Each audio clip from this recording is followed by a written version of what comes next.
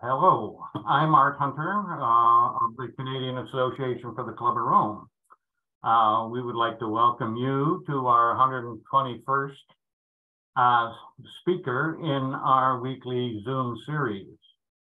Today we are pleased um, to welcome uh, Mr. Jack Gibbons, who has been chair of the Ontario Clean Air Alliance uh, since 1997. Uh, this economist has over 40 years of research and advocacy with the Ontario energy and environmental issues. Uh, he's worked for the Ontario Energy Board and served as a Toronto Hydro Commissioner. Jack's presentation, Moving Ontario to a Zero Carbon Electricity Grid and uh, Lower Energy Bills by 2030, is a critique of Premier Doug Ford's proposed um, expansion of the production of, of, of, power using gas turbines instead of alternate greenhouse gas um, reduction uh, uh, technologies. And with that, Jack, can uh, you go ahead and, and uh, make your presentation? Okay, thank you, Art, for, for that introduction. And good afternoon, everyone. I'm Jack Gibbons from the Ontario Clean Air Alliance. And as Art mentioned, we were established 25 years ago with the goal of promoting the phase out of Ontario's five dirty coal fired power plants. And we worked on that issue for every day for 17 years until the last uh, coal plant was phased out in April 2014. And now we're working on the next step to clean up Ontario's electricity grid, namely to phase out our gas fired power plants and to move Ontario to a, a, zero carbon electricity grid by 2030. And we're also working to promote the phase out of gas for home heating by promoting uh, air source heat pumps and ground source heat pumps as an alternative to gas, gas furnaces uh, for home heating. So next slide, please. But before we talk about uh, uh our plan to, to phase out uh, gas for electric power generation and home heating, it's important to, to review uh, four of the key energy policies of Premier Doug Ford. First, uh, the Doug Ford government wants to increase the greenhouse gas pollution from our existing gas fired power plants by more than 600% by 2040. And to add insult to injury, they also want to build new gas fired power plants in Ontario. With respect to nuclear power, the Doug Ford government wants to spend almost $30 billion on high cost nuclear power projects, which will push up our electricity rates. And finally, the Doug Ford government supports Enbridge's uh, proposal to expand their, their gas distribution network to hook up more homes in rural Ontario to gas, despite the fact that heat pumps uh, can give customers bigger bill reductions and can actually reduce their greenhouse gas pollution for home heating. Next slide, please. Now, this slide shows the historic and forecast greenhouse gas pollution from our electric power plants, and it goes from 2005 to 2040. The good news is that thanks to the phase out of our dirty coal plants, our, the greenhouse gas pollution from our electric power plants fell by 93% between 2005 and 2017.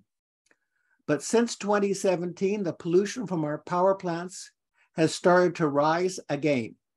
And according to the IESO, or Independent Electricity System Operator, the pollution from our gas plants will increase by 375% by 2030 and by more than 600% by 2040. And if this occurs, we will lose about half of the pollution reduction benefits that we achieved by phasing out our five dirty coal-fired power plants. Next slide, please. And in addition to, to ramping up the pollution from the existing gas plants, Last month, the Minister of Energy directed the IESO to contract for up to another 1,500 megawatts of new gas-fired generation capacity. And these contracts are to last until 2040, despite the fact that uh, Prime Minister Trudeau has promised to move Ontario uh, to move Canada to a net zero carbon electricity grid by 2035. Next slide, please. Now here's a breakout of Doug Ford's proposed spending on high cost nuclear power. He wants to spend $12.8 billion rebuilding Darlington's four aging reactors. He wants to spend $13 billion rebuilding the Bruce uh, station's aging reactors. And he wants to spend $3 billion uh, building, uh, building a new nuclear reactor in the GTA. And this is the forecast cost, but as we know, nuclear projects go over budget. Actual costs could be a lot higher. Next slide, please. And finally, the, the fourth key point about uh, Doug Ford's uh, energy plan is that he wants to expand uh, gas for home heating into these new gas communities in rural Ontario, despite the fact that heat pumps are lower costs financially for homeowners over their life cycle and also can actually reduce our greenhouse gas pollution. Next slide, please. Now, needless to say, the Ontario Clean Air Alliance does not support Doug Ford's plan to ramp up the use for gas for electric power generation or for home heating. So in February of 2020, we launched a campaign to promote the phase out uh, uh, of gas power gas power, gas-fired electricity uh, by 2030. And I'm very pleased to note uh, that so far, 34 municipalities that represent almost 60% of Ontario's population have passed resolutions asking Premier Ford to phase out our, our gas-fired power plants. And specifically, they've asked, asked Premier Ford to return the gas plants pollution back to their 2017 level as soon as possible and to achieve a complete phase out of gas power by 2030. Next slide, please. Now we need, need to turn to the IESO or Independent Electricity System Operator. The IESO is the agency that, that keeps our lights on. And the, the chairman of the board of the IESO is Joe Oliver, you may remember that he was a minister of finance in the Stephen Harper government, and he's also a very prominent climate denier. Now, when, when Joe Oliver and the IESO started to learn that municipalities uh, were passing resolutions calling for the phase out of gas power, they were not pleased. They were not pleased at all. And so in October of last year, the IESO issued a report in, a, in an attempt to discredit uh, the municipal the municipalities call for a gas power phase out. And this report, which was released a, year ago, they made a number of claims that were that are absolutely false and irresponsible. First, they claimed that it would be impossible. It would be impossible to phase out gas power by 2030. Then they said if we tried to do so, our electricity rates would skyrocket and we would experience rolling blackouts.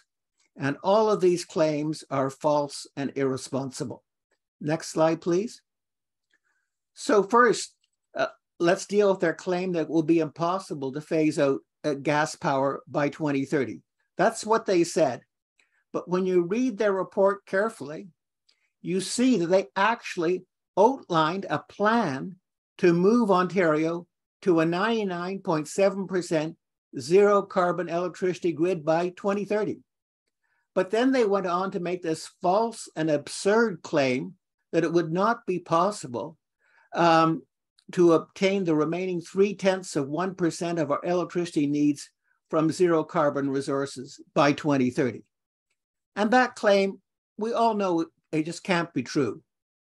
Because if you're willing to uh, invest a bit more money in energy efficiency or wind or solar or Quebec water power, then absolutely uh, we can increase our supply of uh, carbon free electricity resources by another three tenths of 1%. So, in fact, the IESO report demonstrated that we can achieve a, a gas power phase out by 2030. Next slide, please. This, the second type of irresponsible fear mongering that, that the IESO report engaged in is they said, you know, if we try to, to phase out gas power by 2030, we'll have blackouts. And this claim, again, absolutely false because in 2030, at least 33% of our existing gas fired generation capacity will still be under contract to the IESO. So, if for any reason, because of an extreme event in 2030, we don't have enough zero carbon electricity resources to meet 100% of our electricity needs, what will the IES do? It will fire up the gas plants to keep the lights on. The IESO will absolutely not subject us to rolling blackouts when the blackouts could be avoided by firing up our existing gas fired power plants that are under contract to the IESO. So, again, a very political statement by the IESO and totally irresponsible. Next slide, please. And the final uh, outrageous claim by the IESO was that, you know, attempting to phase out gas power would cause residential electricity rates to rise by 60%. Once again, when you read the report carefully, there's absolutely no evidence or analysis to justify this claim. When you read the report carefully, it actually just predicts the costs would rise by 20%, just by 20%. And the report provides no analysis or justification for their assertion that a, a 60 a 20% rise in costs would lead to a 60% rise in electricity rates for, for residential customers. Next slide, please. Uh, but here's an, another serious problem with their with their claim that a gas power phase out would lead to, to higher electricity rates. It turns out that their claim that costs would rise by 20% is also false. There's no basis for this claim that there's no real factual basis for this claim that costs would rise by 20%. They, they made this claim by, uh, by, by making um, misleading or um, uh, uh, counterfactual assumptions. And, and there were three basic uh, misleading assumptions they made to justify their, their claim that costs would rise by 20%. The first thing they did was they underestimated the carbon tax uh, savings that electricity consumers would enjoy if we phased out uh, a, a gas fired uh, power. And, and in 2030, they underestimated the carbon tax savings for electricity consumers by about $2 billion a year. So, so that's a big error. And the second uh, uh, misleading assumption they made was by ignoring our two lowest cost storage options.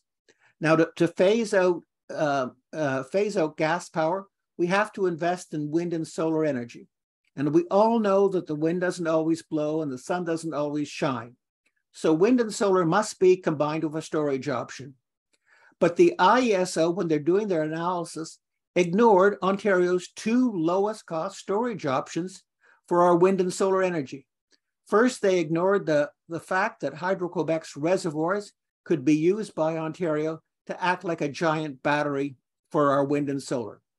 Second, they ignored that our electric vehicle batteries could be used to store wind and solar energy and then provide it back to the grid during peak demand hours uh, uh, to phase out gas power. So by ignoring these two lowest cost storage options, they they they uh, um, erroneously inflated the, the costs of phasing out gas power.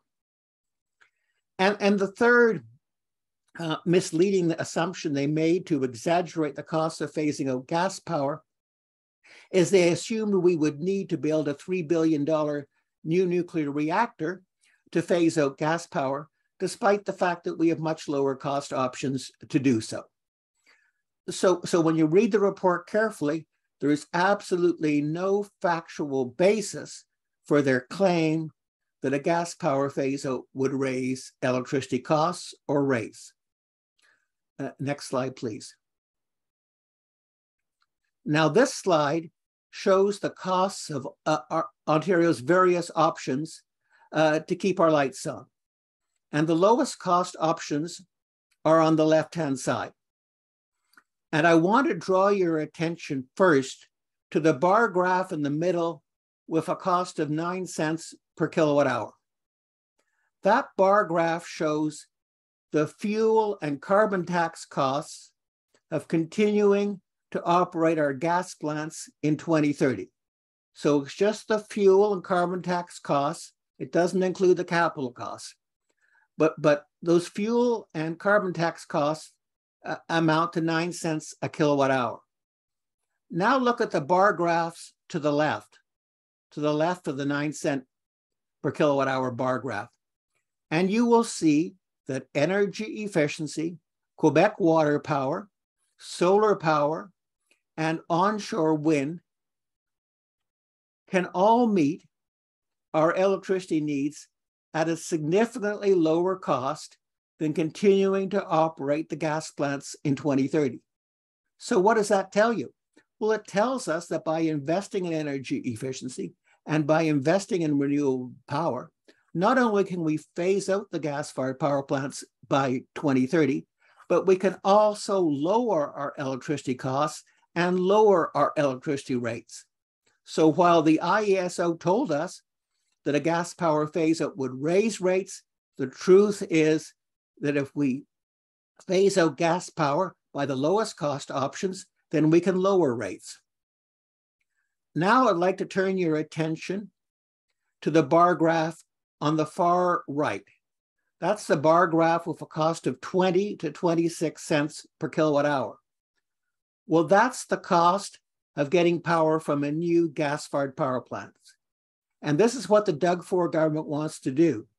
It also wants to build new gas-fired power plants at a cost of 20 to 26 cents per kilowatt hour. Well, this is just absolutely nuts because as you can see in this, uh, this chart, we've got uh, energy efficiency and renewables can keep our lights on at just a fraction of the cost of building a new gas-fired power plant. Next, I'd like to turn your attention to the yellow bar graph in the middle with a cost of 10.5 cents a kilowatt hour. That's the price we're paying today for nuclear uh, electricity. If you, if you move to the right and look at the yellow bar graph with a cost of 13.7 cents a kilowatt hour, that's the price we'll be paying for nuclear electricity in 2027 if Ontario Power Generation completes the rebuilding of all four of Darlington's nuclear reactors. And if you look at the bar graph, the yellow bar graph with a cost of 16.3 cents a kilowatt hour, that's the cost of, of, of getting electricity from a new nuclear reactor. So once again, you can see that energy efficiency and renewables can keep our lights on at a much lower cost than, than nuclear power. So what so so here are the messages. By investing in energy efficiency and renewables, we can phase out gas power by 2030 and lower our electricity rates. And if we do even more energy efficiency and renewables than are necessary to phase out just the gas plants, we can start to reduce our dependency on high cost uh, uh, nuclear power and uh, achieve further electricity bill reductions for Ontario's electricity consumers. So, in short, what this shows is that Doug Ford's um, energy policies are not only climate lunacy, they're economic lunacy, because Doug Ford's policies are increasing our greenhouse gas pollution and increasing our electricity rates. And, that makes absolutely no sense when by investing when we could invest in energy efficiency and renewables to actually reduce our greenhouse gas pollution and to reduce our electricity rates and costs. Next slide, please. And so in this context, uh, it's very interesting to note that in September, the IESO released their Dunsky report. And the Dunsky report, which was done for the IESO, and it's a two volume report, lots of analysis. The Dunsky report confirms what the Ontario Clean Air Alliance has been saying for years. The Dunsky report says we do not need new gas plants to keep our lights on.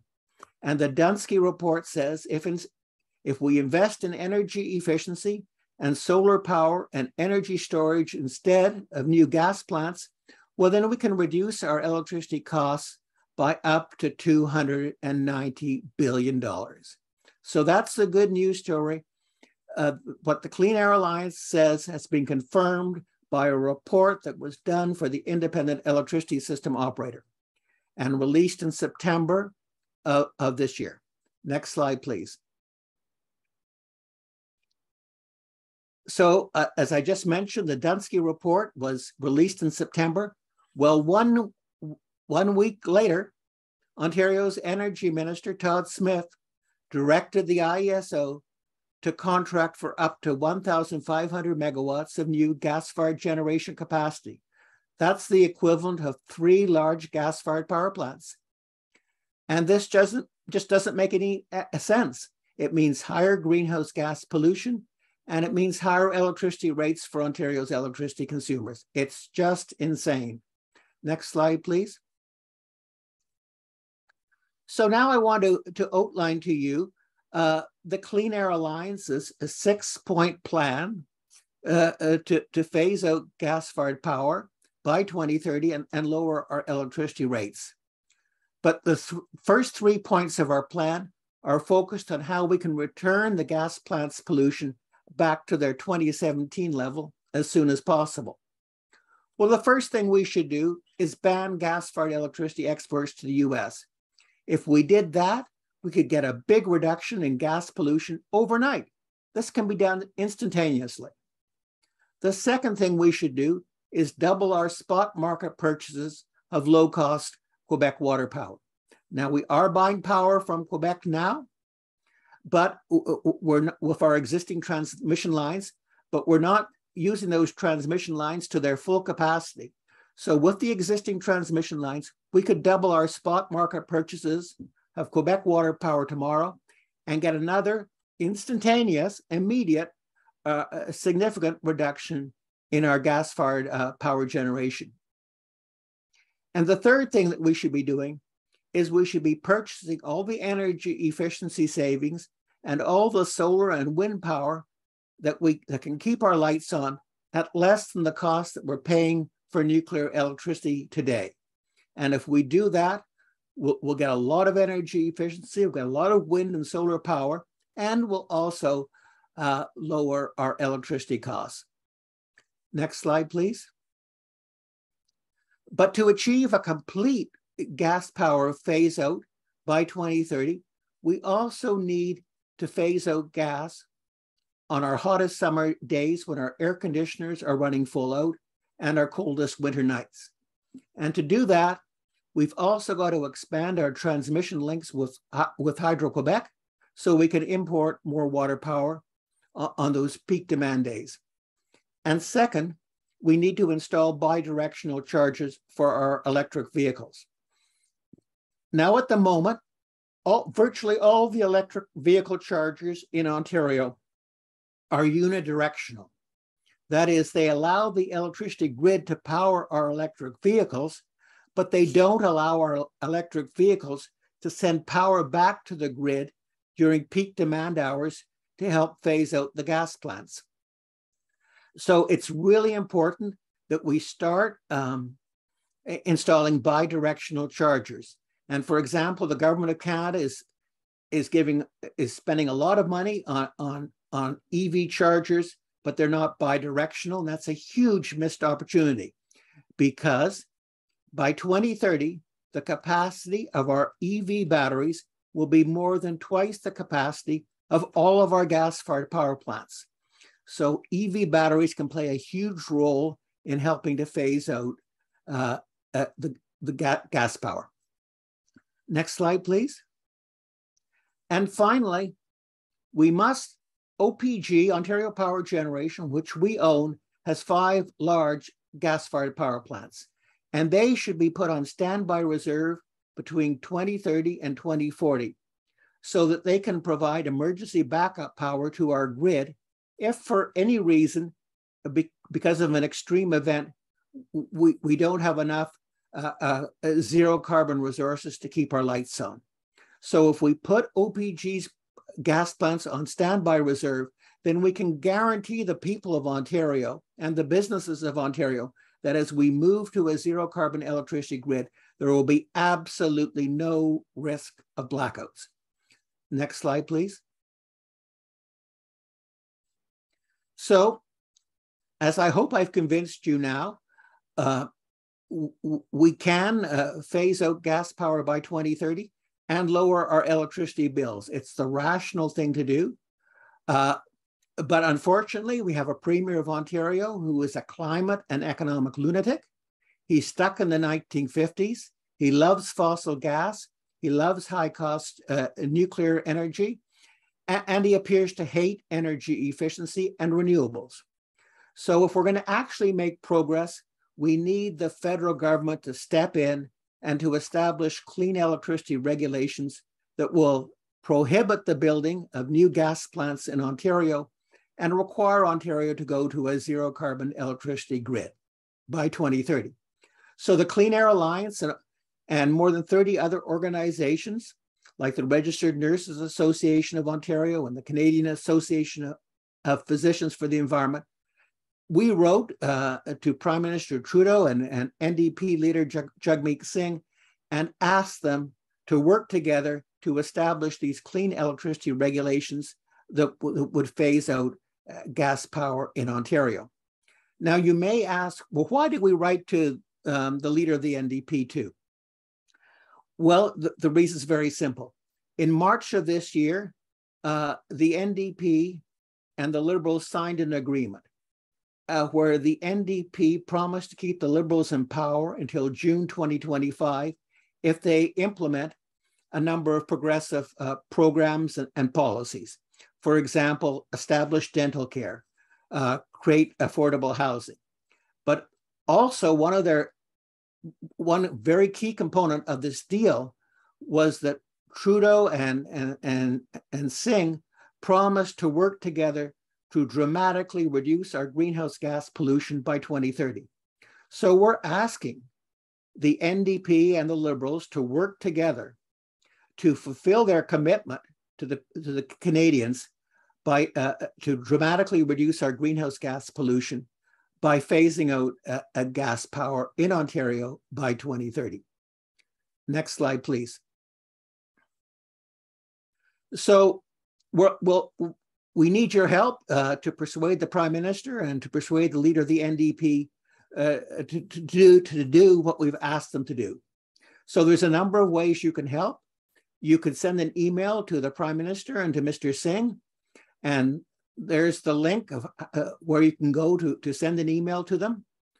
Second, you could ask your, your local community group uh, uh, to sign on to our, our letter to the prime minister and Mr. Singh. Third, you could distribute our climate lunacy pamphlet uh, to your friends and neighbors. And fourth, you could actually um, uh, schedule a meeting with your MP in his or her constituency office, and you could ask your MP to support um, our requests for clean el electricity regulations, which will phase out gas power in Ontario by 2030. The next slide, please. And so here's a, a picture of our climate lunacy uh, pamphlet. We've got lots of copies in our office, and if you'd like to distribute them, we'll be glad to mail them out to you. Next slide, please. Now I want to uh, uh, uh turn to the second type of climate lunacy that, that, Doug Ford is engaged in, namely the, the promotion of more uh, uh more homes being hooked up uh, to gas for home heating.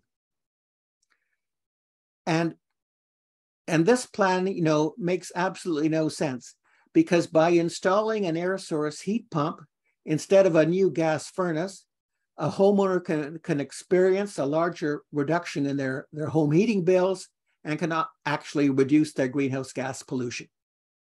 So for, uh, for a, a, homeowner in an existing gas community like Toronto or Ottawa or Hamilton or Kitchener, um, you would save about $10,000 over the next 15 years if you install an air source heat pump instead of a new gas furnace. But if you live in one of these new gas communities where Enbridge is bringing gas to rural communities that don't currently have gas, well, your saving would be twice as great. You'll save about $20,000. And that's because people who live in these new gas communities, their gas rates are significantly higher than the gas rates of existing uh, um, customers of Enbridge gas. And also, of course, um, if you install an air source heat pump, not only do you reduce your, your energy bills, but you reduce, reduce your greenhouse gas pollution.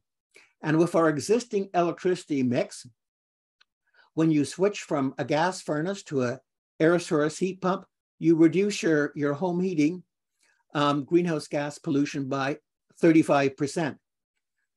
But the good news is that, you know, once we move Ontario to a zero carbon electricity grid, when you switch from a gas furnace to an air source heat pump, you're going to be able to reduce your greenhouse gas pollution for, for home heating by 100%.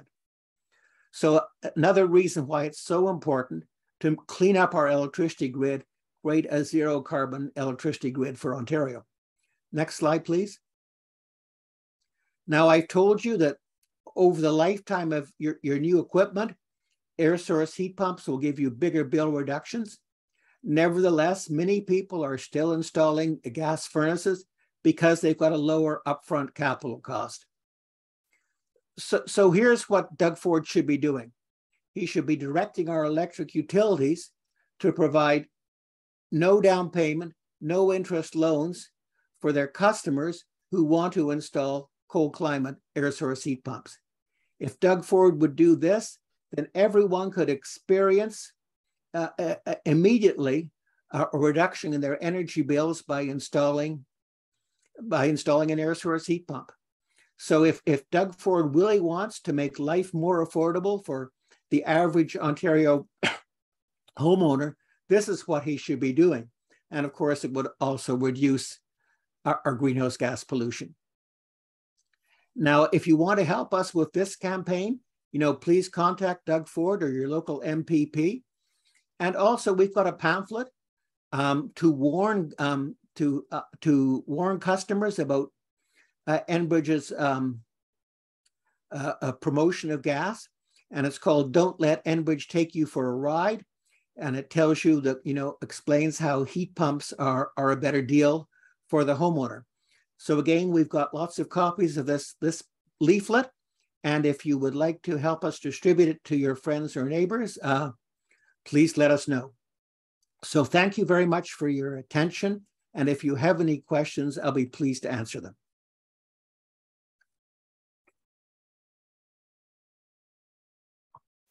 Okay, thank you very much, Jack. Um, that was a good presentation. We we have quite a number of of people who who wish to ask questions and seek clarifications. I, I I would like, however, to be be the first to go and and uh, uh, make a comment. First off, being uh, anyone interested in knowing what's happening on the IESO, uh, they have an excellent website, which is just full of material. And the uh, access to it is ieso.ca. I, I do recommend that anyone interested go and, and wander around in there. There's a wealth of information in there, as well as quite a number of reports which um, uh, can help shed some light on some of the things that Jack has been saying. the um, the other thing is I'd just like to comment on uh, these low energy nuclear reactors, they, they typically run between uh, 30 megawatts and 300 megawatts. And there has been work going on in other parts of the world looking at virtual power plants that can produce the same amount of power as a small modular reactor, but but to build it from renewable resources, wind energy and, and storage. Um, and Jack has, of course, talked to, to a little bit of that in terms of using EV uh, battery storage, but there's also uh, quite a, a lot of home battery um, storage that is that exists, for example, in California, Hawaii, and, and elsewhere. And in fact, my microgrid has has three of those as well. um, and that that's just a, a, comment, but you can think about these um, uh, virtual power plants. You can get the equivalent of a virtual power plant just through efficiency, just by not drawing power from the grid. And of course, um, you uh, on the other side of the coin, you can be supplying power to the grid up to uh, uh, 30 megawatts and uh, through some some uh, aggregator who, who can bring all that together. I, I wonder if you could just comment, Jack, on on the concept of virtual power plants and if in fact the the uh, IESO is showing any interest, or or in fact is the Ford government showing any interest in in virtual power plants?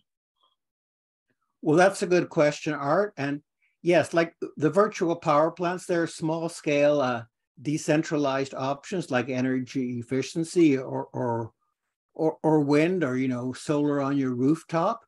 And yes, those are are very low cost options, and it's decentralized and it you know allows homeowners to be to be involved in, in meeting our electricity needs. And so this is absolutely the way of the future. Uh, unfortunately, uh, the ISO and the Ford government is stuck in the 1950s, and their preference is for these large scale centralized power plants. Like, for example, the, the proposed new nuclear reactor in the GTA, which is 300 megawatts, and, and the, the proposed new gas fired power plants that, that Doug Ford wants to build so yes, what you're proposing is the way of the future. It's it's where we should be going, but unfortunately, it's uh, not where we're going now in Ontario. And you know, the Dunsky report, which I referred to and which was done for the IESO, I mean, their options were the type of options uh, you you're talking about, and they pointed out one of the reasons why we're not really tapping into those uh, uh, options to the full extent that they're cost effective is is because of uh, you know the IESO um, refuses to pay fair market value for the services they provide, and the IESO also has a lot of red tape um, that discourages uh, small scale power producers from supplying power um, uh, to the grid. So yes, it's absolutely the way we should be going, and the Dunsky re- uh, report agrees with you. But again, uh, we need a, a, uh, uh, political direction uh, to, to get the IESO uh, moving in the right direction. Okay, thank you very much. I'd like to ask David Pollitt to go next. And uh, that uh, Raymond Lurie, you're, you're on deck. I know you've uh, got both questions and comments. And if you could bundle it in some way, that would save me calling you up more than once. Go ahead, David. Sure, thank you. These were questions that arose just throughout the course of the presentation. I was curious about whether there's ever been work that you know of uh, the Ontario government trying to negotiate fixed price contracts when it comes to the building of a new facility, like a new nuclear facility. That was one. The other was, the other two were, I was wondering whether uh, the sources of uh, additional power, whether there's any problem contracting additional sources of Quebec or the other source you mentioned. And finally, I wondered what your reflection is about the kind of political fallout that might occur if Ontario announced we were ending US exports of electricity. Uh, so those are questions that I absorbed during the course of the presentation, which I found excellent. Thanks very much. Uh, uh, thank you, David, for those good questions. Yes, so with nuclear power, the way that nuclear power projects have always been built in Ontario is the is the nuclear companies they they come to the government of Ontario they, and they lowball the cost estimates. They give a low a, a low cost estimate to persuade the to to trick the government into believing that nuclear power will be cost effective. I mean, way back in the 1950s, the nuclear industry promised that nuclear power would be too cheap to meter but anyway, so in Ontario, whenever we've had uh, nuclear projects proposed and approved, uh, the nuclear industry uh, lowballed the cost estimate, and then they had huge cost overruns, which were always passed on to the Ontario electricity consumer. Now, when the Liberals were in power, they were considering building uh, two new, new large nuclear reactors at Darlington. And the energy minister at the time, George Smitherman, said, okay, I'm not going to allow you to trick me again by, by lowballing your cost estimates and then passing the cost overruns onto consumers. So he said to the companies that, that wish to build these new nuclear reactors at Darlington, he said, you've got to give me a fixed uh, uh, price uh, contract. And, and if there is, uh, if there are cost overruns, uh, uh, you have to eat them. The costs can't be pa passed on to Ontario's electricity consumers. So that forced the the the, the nuclear companies to provide honest bids, and the bid came in at twenty six billion dollars. And when George Smitherman and Premier McGuinty opened up those bids, they had sticker shock, and they said no, thank you. And but now, you know, we've got this new proposal from Doug Ford for a new nuclear reactor in the GTA. And, and that will be done by Ontario Power Generation, which is owned by, by you and me. And there's, you know, absolutely no uh, proper cost assessment. Uh, typically, um, Ontario Power Generation's rates are approved by the Ontario Energy Board.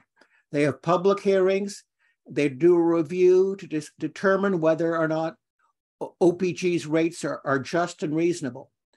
But with respect to this new nuclear reactor for the GTA, Doug Ford has sent a directive to the Ontario Energy Board. You can't rev- review the economics or the financial prudence of this proposed new nuclear reactor. You can't you can't review it. It's it's beyond your scope. Wh- whatever the costs are, um, OPG is going to be allowed to recover them. So totally financially irresponsible, uh, but but that's the, the way it is.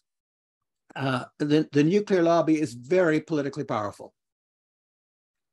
With respect to um, Quebec water power, uh, I think the question was, you know, could, could would Quebec be willing to sell us more power? Absolutely. Uh, the Premier of Quebec, uh, uh, uh, Premier Legault, met Doug Ford uh, soon after uh, Doug Ford was first elected in 2018 and begged him to buy more Quebec water power. Doug Ford said no. Doug Ford is an electricity separatist. Uh, the only, we bought spot market purchases from Hydro Quebec for years, but the only long term contract that's that, that we've had with Hydro Quebec was an a, a agreement that was signed by uh, Premier Kathleen Wynne in 2016. That was a seven year deal. It was a good deal. The only problem was it was too small. Uh, and then, uh, you know, when, when Kathleen Wynne was still Premier of, of Ontario, Hydro Quebec came back to her again and said, hey, would like to sell you more power. 20 years, fixed price, only five cents a kilowatt hour. And Kathleen Wynne said no. And that was a huge mistake by Kathleen Wynne. So the reason why we don't buy more Quebec power is because Ontario premiers are electricity separatists. Uh, they're not doing what's best for consumers and the environment, but they're protecting the interests of our large Ontario electric utilities like Ontario Power Generation and, and, and Bruce Power. A and with respect to uh, banning gas-fired electricity exports to the US, absolutely we can do that if it's part of a of a of a plan to phase out uh, uh, gas-fired electricity generation in Ontario too. Uh, as long as it is as long as we do it even handedly. And that's what we're advocating. We're advocating um, to never fire up the gas fired power plants unless they're absolutely necessary to keep the lights on in Ontario.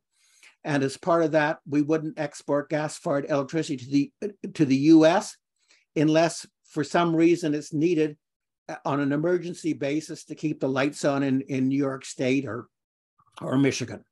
Jack, thanks very much. The, the one question I didn't um, come back to that I typed in was the source that you were using for all of your prices and price projections. Um, is that a source that the Ontario government has validated, or what is your source for those prices? Well, yes, yeah, so that's from a fact sheet, which you can go to our website and you click on the publications section and you scroll down to the fact sheet about Ontario's electricity cost options. Uh, the first page shows you all those nice bar graphs. Page two shows you all the references and, and the numbers for the cost of energy efficiency and the numbers for the cost of nuclear power. Those are all from uh, Government of Ontario documents, the IESO or Ontario Power Generation filings with the Ontario Energy Board. And with respect to, and the Quebec water power uh, numbers are from the uh, Hydro-Quebec's annual report.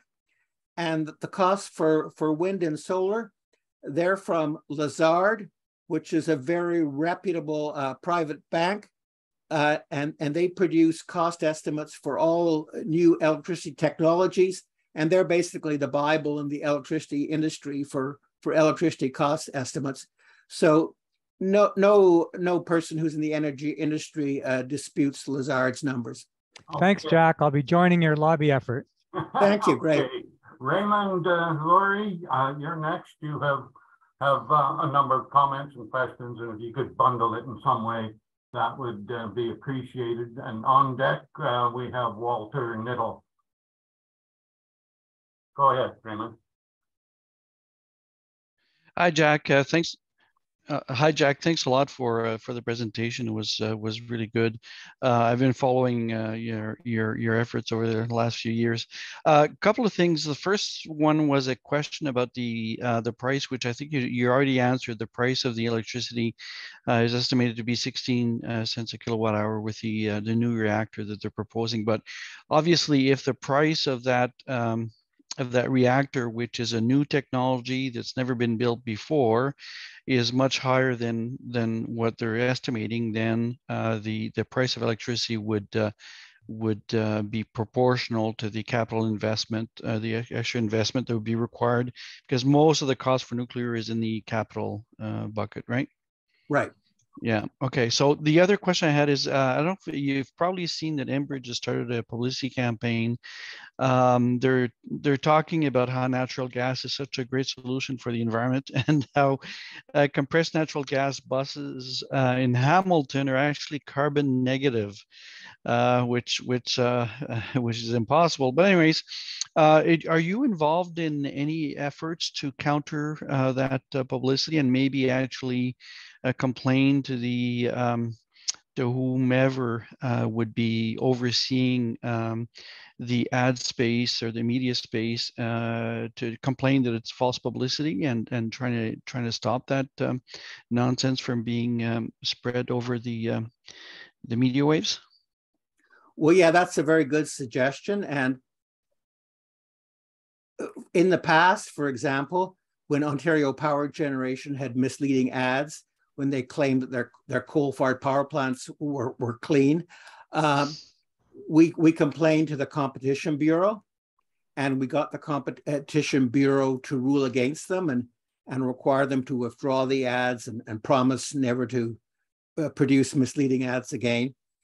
Uh, and so we were successful, and that's that's something that people can can do. Uh, the problem is it's quite a process, and you know we had to have uh, lawyers to do that for us.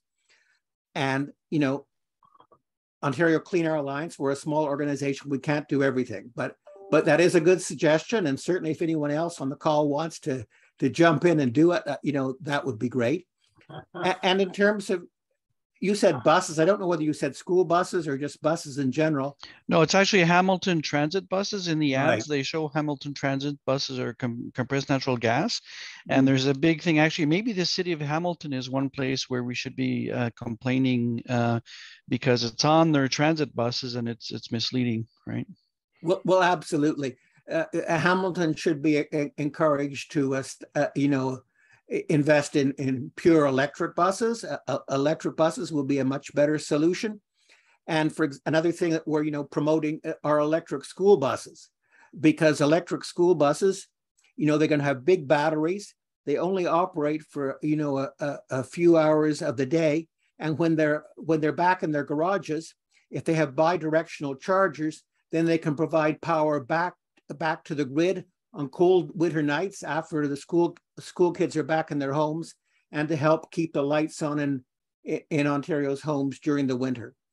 and actually, and actually, in the summer, when the, when those buses are hardly used, they could be used to soak up excess solar during the day and then uh, powered back to the grid uh, in the evening when we have the peak, right? So, yeah, those are, are really interesting solutions. Uh, I did a presentation a, f- a- a few months ago on vehicle to grid, and uh, and uh, you, you- it was with CACOR. So, if you're interested, you might want to look at that. Uh, because I, I, you know, vehicle to grid is a great solution uh, to store excess uh, green energy.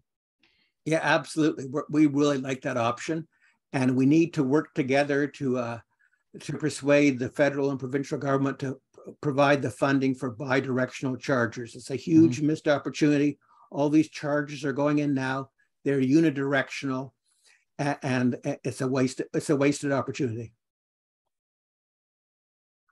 Okay, excellent. Um, Raymond, I know, uh, you, you put uh, comments in, uh, a number of places. If you want to get back in the queue, you're gonna have to, um, put, put in another request, please. Okay, Walter Nettle, you're, you're on now. We have, um, uh, Derek Paul on deck. Go ahead, Walter. Okay, great. Uh, excellent presentation. I really enjoyed it. Very uh, insightful. Um, I agree with the emphasis on hydro.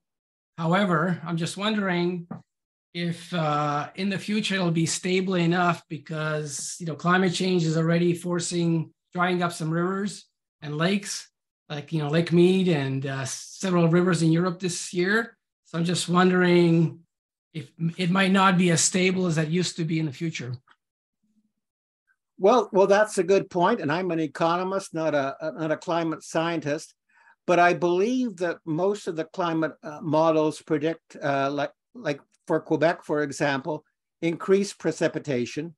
So I think, if anything, maybe it's more likely that that Hydro Quebec will have more water power in the future. But but again, I'm not a climate scientist, but and and and yes, we we shouldn't just be investing in water power. Uh, in fact, we're not advocating building new water power facilities because Ontario and Quebec have, have tapped out all of their low cost water power facilities already. And so, in terms of new supply, the, the lowest cost sources of new supply are solar and wind. They're much, much lower cost than building a new, a new water power facility. Great, thank you. Okay, thank you. And, um, Derek, uh, would you go ahead? We have, uh, Peter Volkowski is on deck. Can, have you, can you hear me? Go Yes, ahead.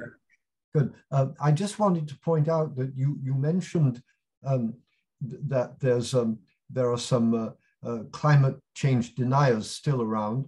Uh, and I think the approach uh, to climate change denial has, is very tardy, but there's, there's an approach to that which overcomes, oh, it's a matter of opinion. It isn't a matter of opinion.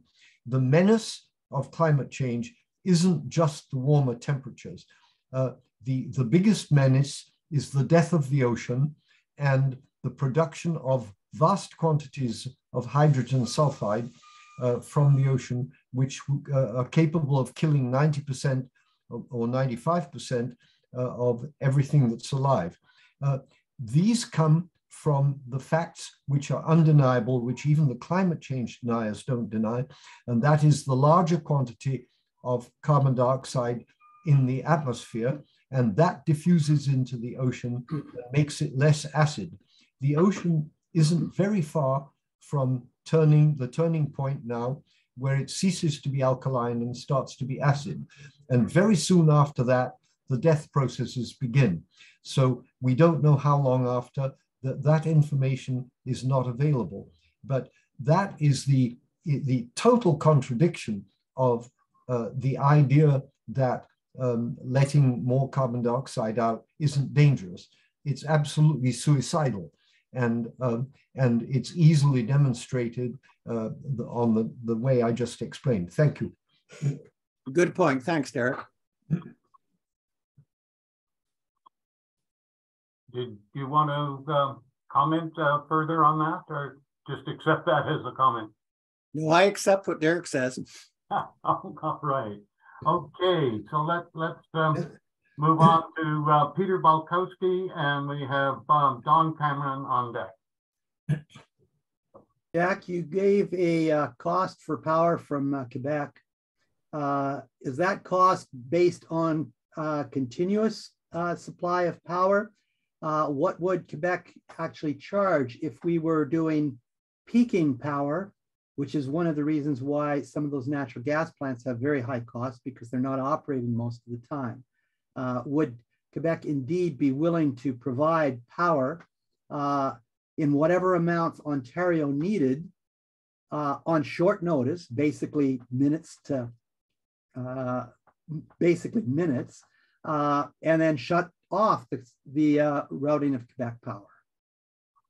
Well, thanks for that question. So in our bar graph, the we showed the average Hydro-Quebec export price in, in last year in 2021, and that was an average of their spot market uh, prices and their long-term contracts. And in terms of going forward for a new contract, it's, it'll be up to a negotiation between Ontario and Hydro-Quebec. And but I would point out that the, deals we've signed in the past have been very reasonable the deal that was signed by uh, Premier Kathleen Wynne. Uh, it, it, was reviewed by the Financial Accountability Office and found to be a good deal for, for Ontario. And as I mentioned back in 2017, they offered us a 20 year supply at only uh, five cents a kilowatt hour. I would also point out to you that the city of Cornwall has uh, obtained a 100% of their electricity from Hydro Quebec for 50 years and the city of Cornwall has the lowest electricity rates of any city in Ontario. So, so we can get, we historically have got very good deals from, from Quebec. Mm. No reason to think we can't in the future. And the interesting thing about Quebec and Ontario is that the demand for electricity in Ontario peaks in the summer when our air conditioners are going full out. Whereas in Quebec, the demand for electricity peaks in the winter because they've got a lot of electrically heated homes. And so that means Quebec has to build their system to supply all their needs in the winter. And in, and in the summer, Hydro Quebec has an absolutely huge surplus of power. When it, on the hottest summer days, when the, uh, Ontario's air conditioners are going full out, and when we're and when we in Ontario are experiencing uh, peak demands, Hydro-Quebec has a surplus of 10,000 megawatts. And so Hydro-Quebec's surplus of 10,000 megawatts is greater than the total production of our gas-fired power plants on our hot summer days. And they got this huge surplus. And if we just had more transmission lines, you know, we could we could import all that power. And and there's no reason to think that we couldn't get it at a, at a very good rate much, much lower cost than 20 to uh, 25 cents a, a, kilowatt hour, which will be the cost from the, these new peaker plants. So, so Jack, what what is your estimate for peaking power from Quebec? Not spot market. Spot market is totally different than peaking. So peaking energy. What well, as again as I said, it will be a negotiation between Ontario and Quebec. Uh, but you know, the IESO does have a capacity auction where they buy, you know, capacity to meet our needs in the summer. And that's a competitive procurement process. And, and recently, you know, Hydro Quebec has bid into that process and, and, and supplied power to the IESO at a competitive price, competitive with Ontario producers. Now, to the best of my knowledge, the IESO does not reveal the, the prices they pay uh, uh to each individual supplier. I believe they just uh, provide the average price. But but that's something you could you know pursue with the IESO how much they pay uh, Hydro Quebec for for capacity in the summer. But but what we do know is it's competitive with the other alternatives. Thank you. Okay, thank you very much. And the next is uh, Don Cameron and then uh, Richard Vanderjag, please. Okay, um, my question regards the uh, federal government prohibiting construction of new gas plants in Ontario, which was on one of your slides. And um, so can the federal government do this? Isn't uh, electricity a provincial jurisdiction? So under what authority would they be able to, to do that kind of prohibition? Well, as you may recall, in the last year or two, uh, the pr provincial governments, like Doug Ford's government, went to the Supreme Court of Canada to challenge uh, the federal government's carbon tax. And the Supreme Court ruled that the federal government can impose a carbon tax and can in order to, to regulate greenhouse gas pollution. So, so the federal government does have the authority to regulate the greenhouse gas pollution from the electric power plants. So in effect, electricity is both a provincial and, and a federal jurisdiction. And, and, the, and the government of Ontario, uh, sorry, the government of Canada is now um, proposing to establish clean electricity regulations you can go, you know, you can Google Environment Canada clean electricity regulations. So they are moving forward to establish clean electricity regulations to, to control the greenhouse gas pollution from our power plants. Our only concern is these proposed regulations aren't strict enough and will not prohibit the building of these new gas-fired peaker plants and will not require Ontario to, to phase out gas power by 2030. So with that last statement that you just made, is I, mean, I would think that the Ford government would challenge that attempt in in the courts. Do you? Well, do you... certainly they might, but I mean they they made that similar challenge about the carbon tax and were unsuccessful. So I think they would be extremely unlikely to be successful uh, uh, uh, uh this time. Well, that certainly would be a, a welcome development. Um, I just want to add two other things uh, that that you mentioned. Um, one was about virtual power plants, and um, IESO sponsored a, a, virtual power plant project in uh, the York region, and uh, that was called the York Region Non-Wires Alternative. Right. And and that was that is that uh, was successful and it is operational and it's operated by the Alectra uh, local uh, distribution company. Right. So that's one thing. The other thing about Quebec Hydro is that you mentioned that all of the prime sites for hydro on river hydro dams are taken. And but um, I've learned from um, studies done by the Australian National University um, looking at two reservoir off-river uh, pumped hydro sites that can produce substantial um, power um, or store substantial power. Um, and Quebec has a lot of Class A uh, sites that could be put that could be constructed.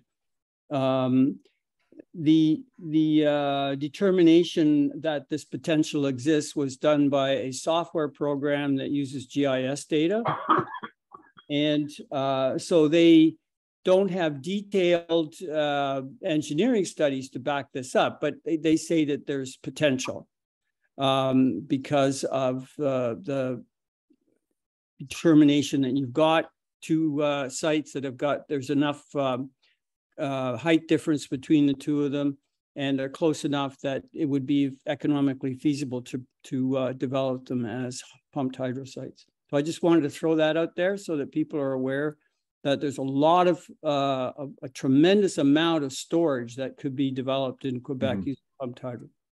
That's all. I'm done. Okay, well, thanks, Don, Don, for that comment. And I'm sure you're correct that there is that potential for pump storage in, in Quebec. But the problem with pump storage is you have to use electricity, uh, quite a lot of electricity, to pump the water uphill into the storage reservoir. And in the case of Quebec, there's no need to, to, to invest in that high cost option because their existing reservoirs have a huge untapped storage potential that can be used and doesn't require any pumping. And there's a, there's a Massachusetts Institute of Technology called a Two-Way Trade in Green Electrons, the role of Canadian hydropower. And it shows that Hydro-Quebec's existing reservoirs, which are not pump storage, are the lowest cost uh, storage option for, for wind and solar.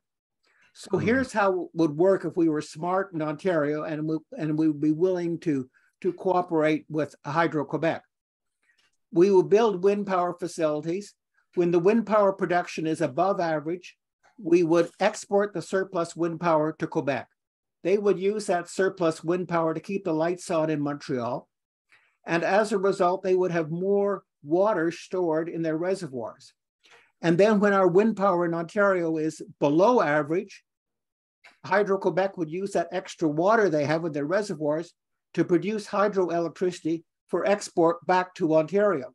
And so by integrating our wind and solar with Quebec's existing hydro reservoirs, we can convert intermittent wind and solar into a firm 24-7 source of baseload electricity for Ontario. Well, that's an excellent plan, I think. It, absolutely. It's being endorsed by the MI, MIT as the lowest cost storage option for, for jurisdictions who are lucky enough to be located next door to the province of Quebec. So that includes Ontario, it includes New Brunswick, and it includes a number of US states in the US Northeast. But you know, we've got a premier who refuses to pursue that option, despite the fact that Premier Legault is begging him to do it. And the president of Hydro Quebec is begging him to do it. But, but, but again, we've got an economic lunatic running our electricity system. Thank you very much, Jack. You're welcome, I, I think your, good question. Are, Jack, your feelings are quite clear. Richard, uh, you're, you're next, and uh, I would like to uh, invite Brian, who has been raising his hand, to okay. be on deck. Thank you, Jack. I, I appreciate uh, your presentation. I, I did miss part of it, and I apologize if what I'm about to ask is something you already covered. I have a working gas furnace and uh, air conditioner, but I am interested in the possibility of putting in a ground source or air source heat pump. I live in Ottawa. The question is, uh, would it be economically a better idea to put in a, a heat pump, you know, where I live? I mean, ba basically, given that we have working system already, and then the question is, which one's better, air source or ground source? Okay, well, those are good questions. Uh, in terms of getting the maximum uh, reduction in greenhouse gas pollution, uh, the ground source is the better option. But the downside of the ground source heat pump is it's a much higher upfront capital cost than the air source heat pump. Right. And now, and so we've done studies on air source heat pumps versus gas. And in the next few weeks, we hope to release a study on the economics of ground source of ground source heat pumps versus gas too. Uh, so our, our report on air source heat pumps versus gas, it definitely shows that when your gas furnace um, needs to be replaced, your financially best choice is to install the air source heat pump, a cold climate air source heat pump. But for for a person like, but there is, but for a person like you that maybe your, your gas furnace is relatively new, um, a, a lower cost option would be to do the hybrid option where you combine your, your gas furnace with a conventional heat pump. And the advantage of going with a conventional heat pump is it's got a much lower upfront capital cost. Um, the disadvantage is it won't 100% replace your gas, your gas consumption, but it might replace it by 50 to 90%. Right. So that's an option that you should look at too. And on our website, we've got a, a primer about boat heat pumps and it and it gives you links to you know our reports. But also in term of terms of the hybrid option, uh, the Toronto Region Conservation Authority has a number of reports about case studies of people who've done the hybrid option and who've got like a 50 to 90% reduction in their gas consumption. And again, at a much lower upfront capital cost. So I would suggest you also look at the, the Toronto Region Conservation Authority's website. And I think that will help you uh, figure out which way you want to go. I mean, it depends how much uh, money you're willing to, to spend right now. Okay, right. Well, thank you. You're welcome. All right, uh, thank you very much. And uh, we'll, we'll go now to uh, Brian and uh, uh, we have Peter Autumnheiser on, on deck. Thank, thank you, Art. Um, before I get to my question, just a comment to verify the discussion we've just had about um, air source heat pumps. I, in my house, had a 14 year old natural gas furnace um, and a high efficiency air conditioner. Um, I decided to go for the cold weather heat pump. I took out my furnace um, because it was at 14 years, it was getting towards the end of its natural lifetime. And we have just now switched to an uh, high efficiency air source heat pump and um, are enjoying it very much. And we were able to do this um, in without panicking. Let me put it that way. When when your gas furnace dies, uh, particularly in the middle of the winter, you may not have the time or the supply chain uh, to enable you to do a quick transition to an air source or certainly a ground source heat pump. So uh, a little bit of advanced planning makes it go smoothly, and uh, we are extremely happy with that decision. It was costly, but I was able to uh, take advantage of both the federal Greener Homes program and a supplementary one here in Durham region. Um, to my question to Jack, and he probably won't be surprised by this, but the story that you tell of IESO's research on one hand and their public statements leads me to conclude that there is a huge politicization of what's supposed to be an independent um, research and planning agency in, in the form of IESO. Um, are, are we seeing this politicization to the point where they are willing to lie to the public about the results of their research? And to what do we attribute that? Does, does Doug Ford have a willing accomplice in the, in the form of Joe Oliver? Well, well, absolutely, Brian. Uh, like most of the reports that the ISO does are very high quality like the Dunsky report, which yeah. shows that we could have no need for new gas-fired power plants and and energy efficiency and renewables are much lower cost. But you know, unfortunately, the IESO it, they report to they're a provincial agency. Doug Ford's their boss, and when you know Doug Ford asks for a report to justify his energy policies, then they will produce the report they, that tells Doug Ford what he wants to hear to help him in his political battles. So, I mean, that's the reality. It's, it's very sad. The, the IESO has independent in its name, independent electricity system operator, but it's not independent. It's very political. And, and, you know, you expect civil servants to give factual, uh, unbiased, nonpartisan advice, but they don't do that when Doug Ford wants a, a report to to justify a, a, a polluting gas or, or, or high cost nuclear, the IESO will produce a report to, to tell him what he wants to hear that, that he can use in his political battles. Yeah.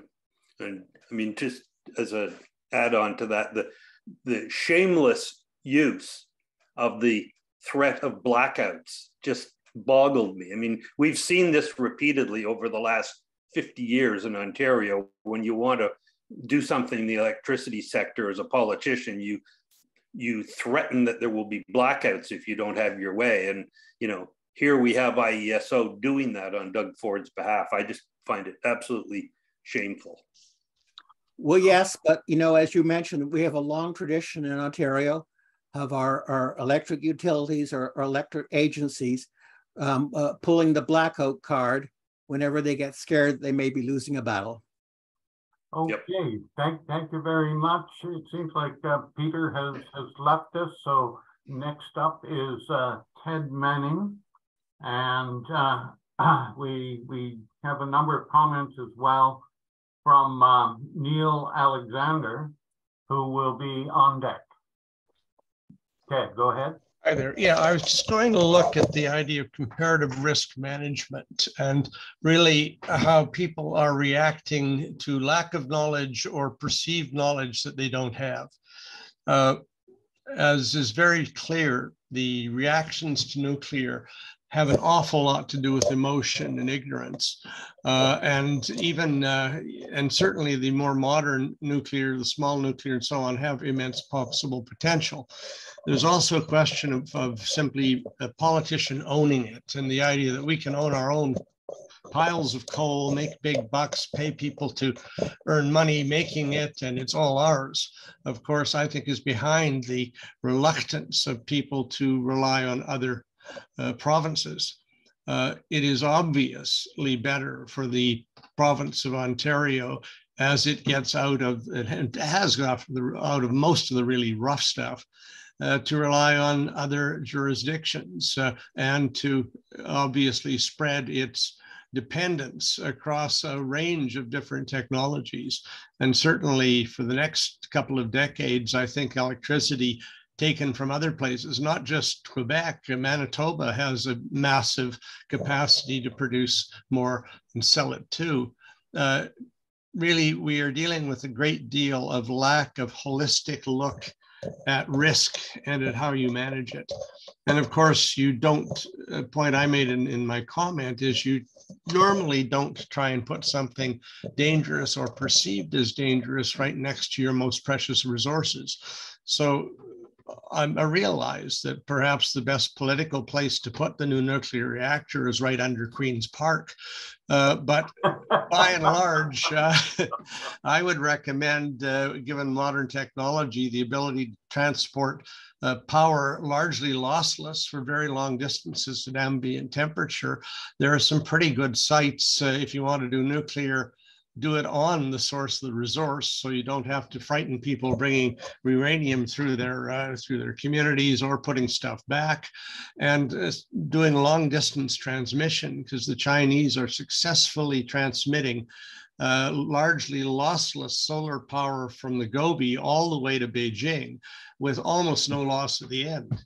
So yes there are solutions and i think uh, so my comment is have we enough logic to allow us to actually realistically consider the other alternatives.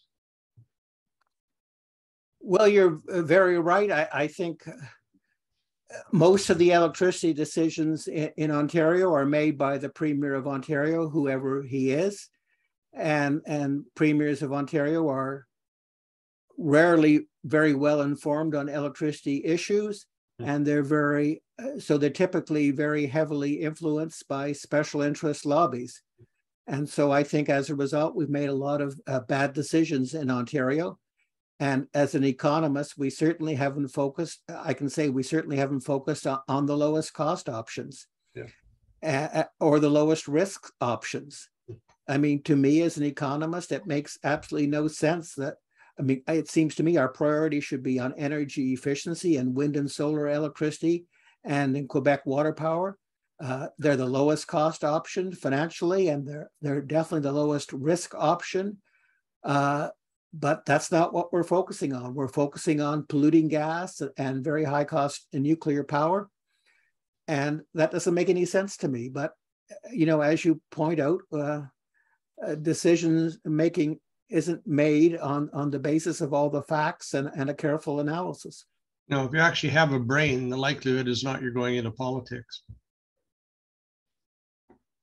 He says cynically. okay, th th thank you for that. Um, right. we're, we're, getting close to the end, and uh, we have had a number of, of comments that have come in from um, Neil Alexander. So I ask that you try and bundle these in some way uh, such that we can uh, try and address the lot within the next five minutes. Go ahead.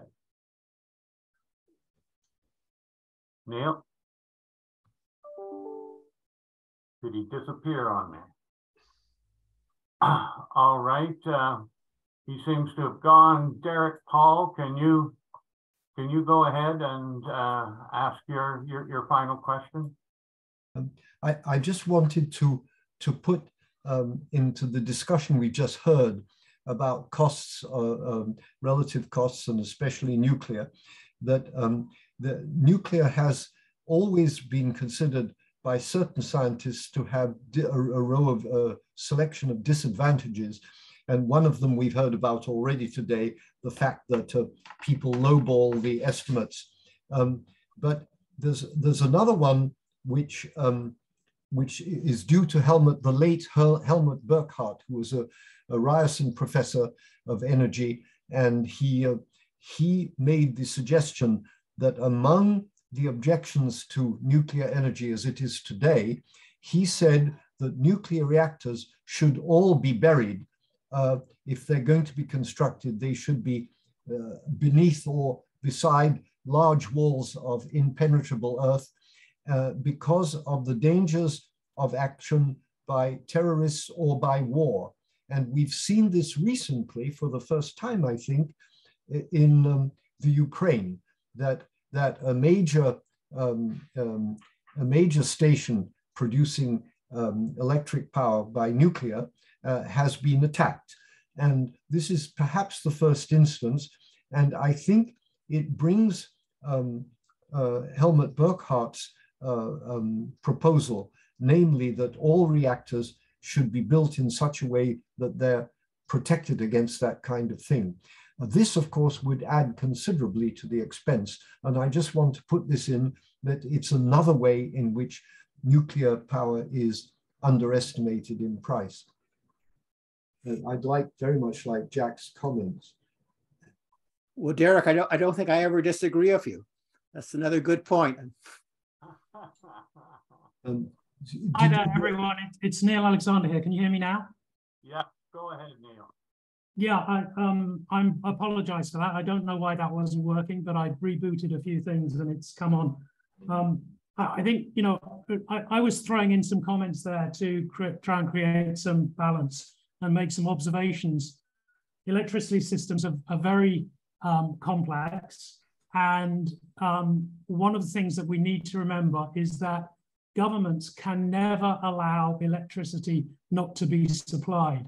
The consequences to human health and to the economy are so great that they have to be able to guarantee it and they can't gamble with it. And a lot of the discussion today is a gambling discussion in which we say, well, it ought to be possible. Ought to be possible isn't good enough. And, and in some of the discourse with Angela, she said, well, 99% of the time it would be fine.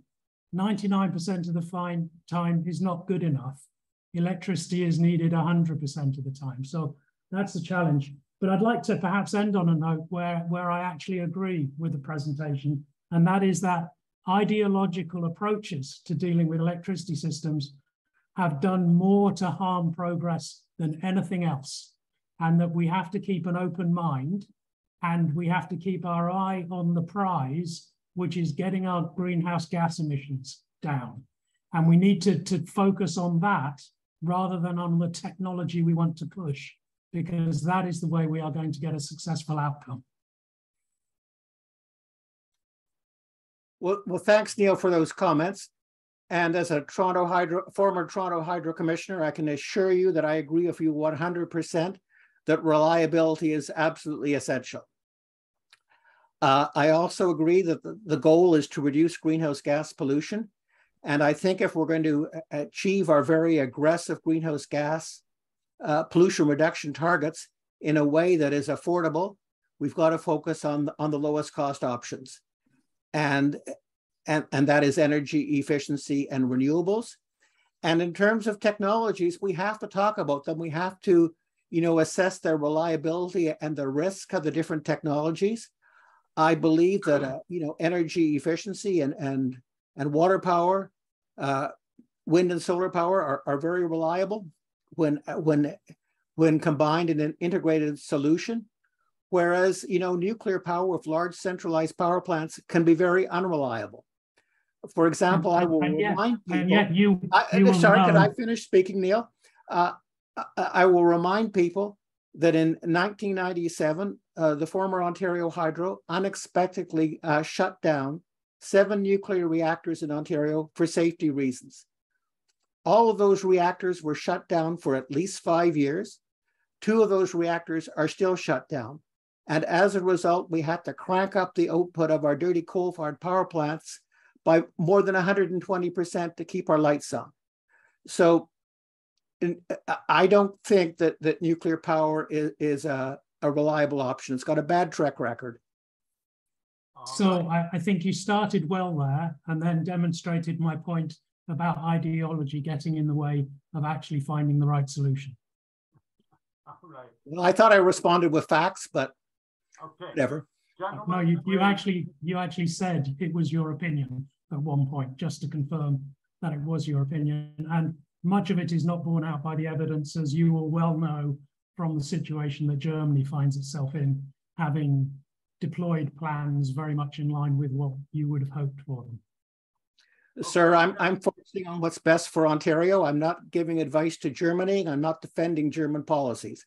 Oh. I, I'm here to talk about what is the best solution for Ontario. And I'm not going to claim that every government in the world has always made perfect decisions. Okay, gentlemen, we've reached the end of our time. And at this stage, I would like to uh, ask Jean Doherty to, to uh, thank you, Jack. Jean, go ahead. Um, thank you, Art. And um, I would, uh, it's my pleasure and my privilege to have the opportunity to thank you on behalf of the Canadian Association for the Club of Rome for this absolutely fabulous presentation. Um, you have brought home some of the issues, both political and personal, that people are facing um, in trying to make decisions for themselves and for their um, the areas in which they live. So it's very, it's been a very interesting um, discussion that has been had, and you, you made an absolutely wonderful presentation that really highlighted some of the things that, that we need to look at and face. So thank you very much for that, Jack. My pleasure. Um, and for those of you who are not familiar with um, CACOR or Canadian Association for the Club of Rome, we're a small nonprofit organization and you are more than welcome to come and look at our website, canadiancor.com. And if you go there and sign up for the Stay Informed section, you will actually be given um, access to uh, the, the um, YouTube link for this particular presentation and all of the previous presentations that we have had, as um, Art alluded, there were 125 of them, I think you said, or 121 um, presentations that we have had since the beginning of the pandemic, and we have worked on the Zoom presentation series. So it's really well worth looking at. There are some wonderful presentations there for you to see. I would also strongly encourage people to join our organization.